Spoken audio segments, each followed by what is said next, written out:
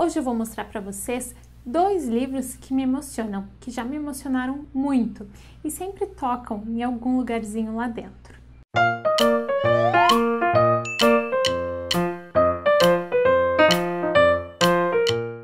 Olá, eu sou a Bel e esse é o Conta Outra. Aqui a gente conversa sobre literatura infantil. E literatura infantil tem assunto para dar muito pano para manga. Se você se interessa por essa temática, eu quero já te convidar a se inscrever no canal e ativar as notificações para ficar sabendo sempre que entrar um vídeo novo, para a gente ir se conhecendo e conversando sobre esse assunto juntos. Ah, além daqui eu também estou no Instagram, contaoutra.literatura. Você pode me acompanhar mais de pertinho por lá. Então, antes de eu mostrar os dois livros que eu escolhi para hoje, para essa temática, vamos conversar um pouquinho sobre por que, que a gente se emociona a gente se emociona quando alguma coisa toca as nossas feridas, de forma consciente ou não. Quando a gente vai crescendo e vai se formando, todas as nossas experiências, todas as nossas vivências, tudo pelo qual a gente passa vai nos construindo. E às vezes, quando a gente se depara com algumas situações que nos lembram de algum medo lá atrás, lá da infância, por exemplo, a gente se emociona. E quando a gente está falando sobre crianças, é importante nós, os adultos, termos bem claro que as emoções elas fazem parte da vida, tanto as positivas quanto as negativas. Faz parte ter raiva, faz parte ficar triste, faz parte se alegrar e pular de animação. E é a nossa tarefa ajudar as crianças a saberem como lidar com as emoções. Porque sentir as emoções é normal, todo mundo sente mas a gente não pode se deixar dominar por elas. A gente precisa aprender a lidar com elas na vida. Tem muito adulto que ainda precisa aprender a lidar com as suas emoções. Muitas vezes eu ainda preciso aprender a lidar com algumas emoções. E as histórias são uma ótima forma da gente ajudar as crianças a aprenderem a lidar consigo mesmas desde pequenininhas. A literatura, as histórias, os livros, eles permitem que a gente tenha experiências com diferentes sentimentos sem que a gente precise passar por eles. Por isso é importante a gente oferecer para as crianças, além das histórias divertidas e engraçadas com finais felizes, também aquelas histórias em que acontecem tragédias, em que as pessoas estão tristes, para que as crianças possam ver isso num outro e no momento em que elas se sentirem assim, elas vão ter algum recurso para acionar e para conseguir lidar com esse sentimento, para ir aprendendo a lidar com esse sentimento. Eu sei que é muito comum às vezes a gente tem uma certa dificuldade de querer mostrar histórias diferentes com um final triste ou um pouco mais, mais sóbrias para as crianças, porque a gente acha que elas precisam sempre viver coisas alegres, coisas divertidas. Mas quando a gente oferece só coisas positivas, só coisas muito alegres, só um mundo muito encantado, a gente está sendo um pouco falso com as crianças, porque a vida não é assim. A vida é sim muito legal, mas ela também tem seus momentos difíceis. Todo mundo passa por decepções e frustrações. E é importante que as crianças aprendam isso logo cedo. Deixa então eu mostrar para vocês dois livros que eu tenho que me emocionam muito. Esse livro aqui, Roupa de Brincar, do Eliandro Rocha e Elma. Esse livro é editado pela Pulo do Gato, um livro brasileiro, autores brasileiros, que foi escrito em 2015, foi editado em 2015. E é uma história que eu conheci esse livro quando eu estava numa feira do livro, assim, vi na banca. Ele até recebeu prêmios, acho que prêmio Jabuti, ai, não tenho certeza, do ano em que eu comprei. Mas eu vi ele numa banca, ele estava em destaque e eu comecei a ler e comecei a me emocionar. Are you gonna miss your mom? No. No? Oh? Essa história aqui fala de uma menininha que vai visitar a tia dela, a tia Lúcia. E ela vai descrevendo essa tia como uma pessoa bem alegre, bem para cima e que gosta de expressar nas suas roupas uh, toda essa animação e toda essa excentricidade. Excentricidade, isso é uma palavra, né? Uh, ah, tem várias figuras da tia dela com roupas super coloridas e engraçadas.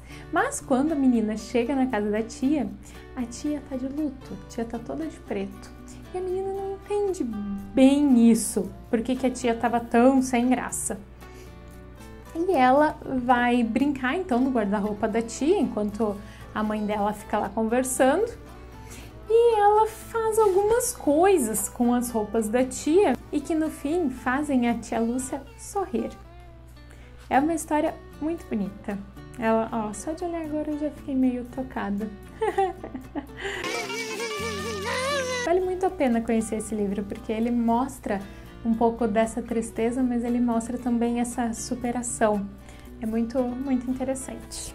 Outro livro que me emocionou muito quando eu conheci foi esse aqui, Menina Amarrotada, da Aline Abreu, que também é uma autora brasileira e foi publicado pela Jujuba no ano de 2013. E olha que legal aqui, se vocês vão conseguir ver, ele tem uh, as informações todas né, da, da catalogação, assim, e tem umas setinhas dizendo esse símbolo aqui significa copyright e quer dizer o direito que alguém tem sobre alguma coisa. Ele tem várias legendas em todas as partes aqui da ficha técnica do livro. Achei bem legal, isso é muito legal para a gente ensinar para as crianças. Mas voltando para o livro, eu ganhei esse livro de presente do meu irmão e nem lembro mais em que situação foi. Mas eu demorei muito para ler ele, não sei, acho que se foi algum aniversário que tinha muitas outras coisas ou o que que foi. Mas quando eu li esse livro foi quando eu estava acho que no primeiro mês assim de aula numa escola nova em que eu como professora, né? E muitos alunos pequenininhos, eu ainda me acostumando com eles, eles se acostumando comigo. Isso, ah, essa fase de adaptação não é fácil para ninguém, né? Nem para as crianças, nem para os professores e nem para os pais. É, não é fácil para ninguém mesmo.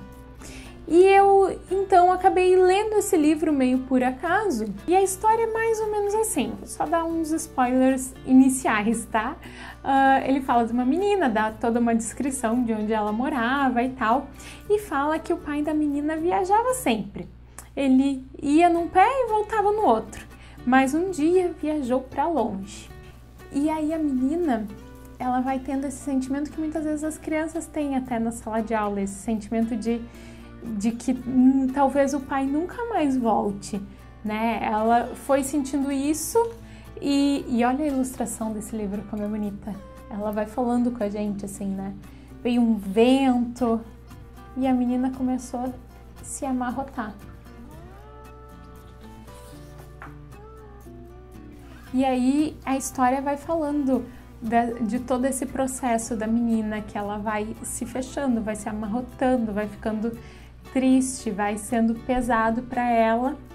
Mas também tem os momentos em que ela se distrai, mas de repente vem o vento de novo e vai dando aquele sentimento ruim de novo. E eu não vou contar mais nada porque esse livro aqui realmente vale muito a pena ser conhecido. Ele é muito bonito e ele, eu acho ele legal até mais para os adultos para quem lida com as crianças, para quem está com as crianças, porque ele nos, nos, ajuda a enxergar um pouquinho o que, que se passa lá dentro daqueles dos corações dos pequenos. Quando eu li esse livro, ele me ajudou muito a passar por esse processo, a entender e olhar por, com mais carinho para os meus alunos que se amarrotavam de vez em quando. E aí, gostou das histórias?